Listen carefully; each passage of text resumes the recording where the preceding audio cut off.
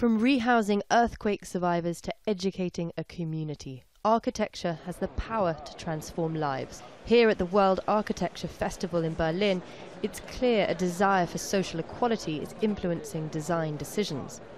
Seen here in Design and More's presentation of Shelter on the Edge, a reimagining of a refugee camp for Syrians fleeing conflict made of wood, is designed to be built by its inhabitants and can grow like a community. Very simple. It's like puzzles. You start with the basic human need, what you need, and uh, especially the floor plan. It's it's a very smart way. It's like you know, you, it's very movable and adaptable, flexible, and uh, it's uh, affordable. Each building tells a story. The Palestinian Museum in the occupied West Bank has already won an award for its clean lines and cascade of terraces, which represent a diversity of cultures.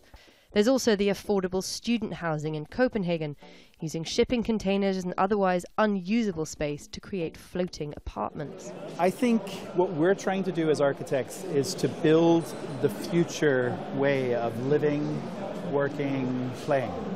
Um, we feel that a lot of the places in cities today were actually designed for how life was lived 100 years ago. This building in central Berlin was shortlisted for the housing category, but it's actually multifunctional. It's got offices on the top, a restaurant, and shops. It generates its own electricity with solar panels on the roof, and a geothermal system supplies it with heating and air conditioning.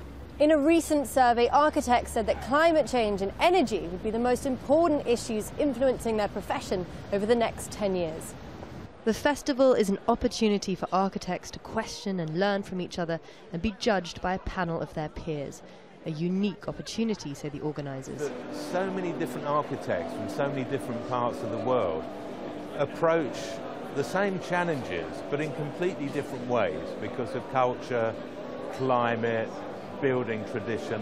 And what's always fascinating is to compare and contrast how different designers, when addressed with the same problem, come up with amazingly innovative and, and unusual solutions.